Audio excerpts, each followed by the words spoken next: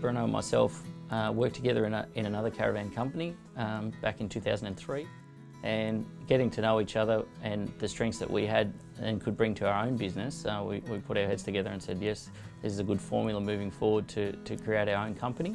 We looked for a fresh approach um, and, and tried to encompass different things that were done by a lot of number of companies and not just build what we were previously used to. So, so look to the broader market and take the strengths of what other people were doing and bring it into one package. So th that concept that we had at the beginning is what, what started us off.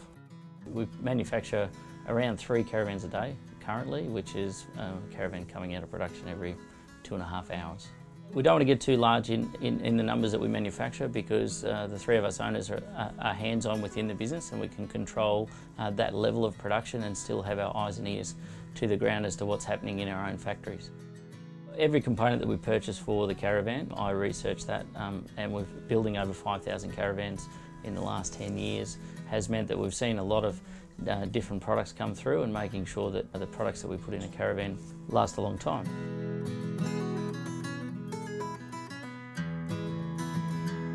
Creating an open environment where the staff can be part of the company and really talk to the owners and give feedback as to how we can make the company better, whether it's for safety, for production, for efficiency.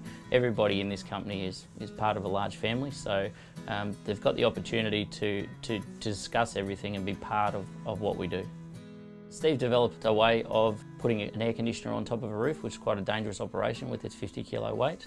He designed and had made by an engineer a, a lifting mechanism that eliminates the need for the for the worker to actually get onto the roof of the caravan and physically lift that weight. So the normal warranty that you have for your caravan is 12 months. Uh, a lot of the components that we fit, like fridges and microwaves and stoves, can have longer warranties than that.